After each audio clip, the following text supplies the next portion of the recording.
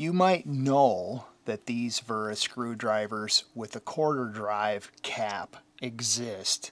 And even if you do know they exist, they can be hard to find. The marketing material and the marketing photographs that you find when you're shopping for these, they don't immediately show you that this has a quarter drive head because they just kind of show you this profile.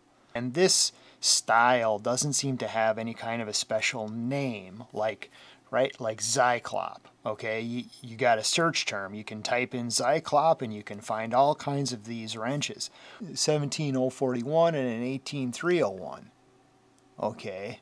Well, how, how do you find that? I'm to give you links to those in the description of this video. All right so what are you getting you're getting a 10 millimeter bolster, that's kind of obvious. And then you're getting a quarter socket drive. The one thing you might want to know about this quarter socket drive is, is that they didn't put any machining in here for a detent. These don't have any locking detent. So if you're going to reach down into something and use this like an extension, well, you know, if you you know, if you're reaching down into an engine or whatever, and you bump this on something, you could end up pulling this free. I'll show you what I mean with the new Wera T-handle. Each side of this is smooth and it doesn't lock. You know, I mean, presumably though, right, you're to be holding on to the screwdriver and you're to be, you know, you're going to be doing things this way.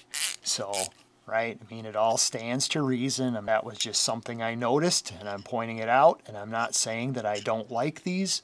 I do like them. I think that's a very handy feature to have. And I can't really tell you how durable it is. I can't tell you how much torque you can put on this. You know, I don't know if you want to be putting a Milwaukee quarter drive electric ratchet on this, but but what I can tell you is is that it is metal all the way through. So this is connected all the way through to the tip with metal and it is not just an insert into plastic. When I was searching for these, trying to find the, the product name, the description, the keywords, just trying to find them was a challenge. Um, but KC Tool has them. Uh, Amazon, DE, wherever I can find these, I'll put links to these.